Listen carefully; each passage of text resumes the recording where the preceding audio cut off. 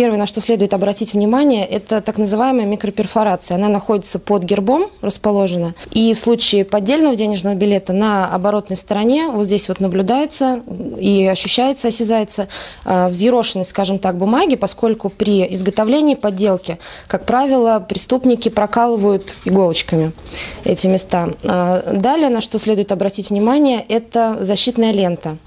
В случае поддельного денежного билета ее очень легко, скажем так, поддев иголочкой, вынуть. Она совершенно спокойно отходит. Следующее, что можно, на что следует, вернее, обратить внимание, это защитные волокна, так называемые.